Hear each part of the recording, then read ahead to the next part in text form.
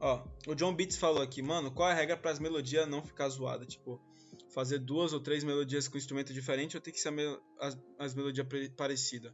Mano, uma coisa que eu gosto de, de deixar bem claro para você: se você não manja muito de melodia, não tenta fazer duas, três melodias na mesma track. Isso é a primeira. Não tenta fazer duas, três melodias na track, porque você vai acabar se embolando. Se as, as melodias. A verdade é essa, tá ligado? Você vai acabar se embolando e se embolando feio. Porque você não tem muita experiência. Então é o seguinte: de início, tenta fazer uma harmonia, que foi exatamente o que a gente fez aqui, uma junção, uma sequência de acordes e, de, e, por cima dessa sequência de acordes com outro instrumento pode ser até mesmo com o mesmo pode até mesmo com o mesmo instrumento você pode fazer uma melodia bem simples. Porém no início tenta focar em fazer apenas uma melodia cara. Simples. Simplicidade tá ligado? A música boa não tá na complexidade rapaziada. Eu fiz a, eu fiz acordes mais complexos aqui porém não precisa disso. Existem músicas tão simples hoje que estão bombando, que a galera tá gostando e que realmente são músicas boas, que você não precisa dessa complexidade toda. Muita gente fica nessa, nessa vibe tipo, ah, eu tenho, que ser complexo para mostrar que eu sei. Mano, o público não quer saber se você sabe. O público quer sentir, tá ligado? Quer se identificar com sua track. Então é basicamente isso. Então a regra que eu dou é, mano, foque na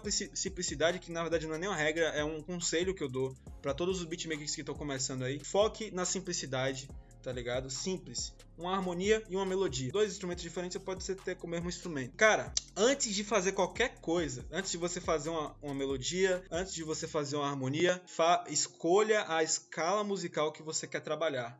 Beleza? Isso é regra de ouro. Porque, velho, se você não escolher uma escala musical, você vai se perder. Anote o que eu tô falando você vai se perder, mano.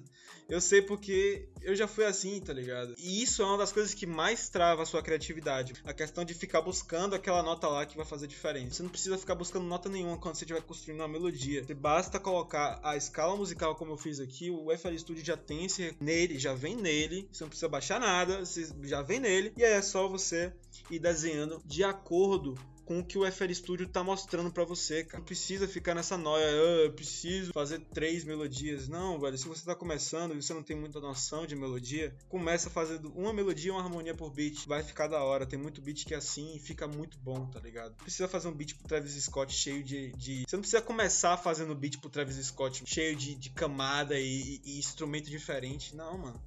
Tá ligado? Tenta focar no simples, que vai te dar resultado. Beleza? Espero ter ajudado aí.